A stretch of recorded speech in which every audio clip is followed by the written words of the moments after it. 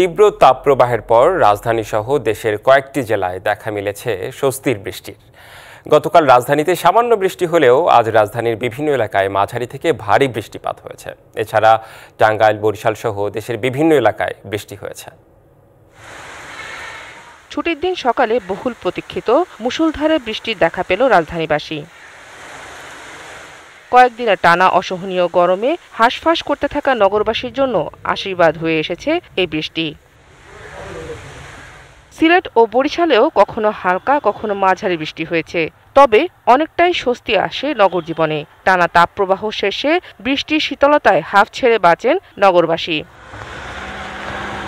এদিকে ঢাকাসহ আশেপাশের এলাকায় বজ্রসহ বৃষ্টির পূর্বাভাস দিয়েছে আবহাওয়া অধিদপ্তর। এছাড়া চট্টগ্রাম ও বরিশাল বিভাগের কয়েক জায়গা, রংপুর, ঢাকা, ময়মনসিংহ ও সিলেট বিভাগের কিছু জায়গা এবং রাজশাহী ও খুলনা বিভাগের দু এক জায়গায় দমকা থেকে ঝড়ো হাওয়া ও বজ্রসহ বৃষ্টি হতে পারে বলে জানিয়েছে আবহাওয়া অধিদপ্তর।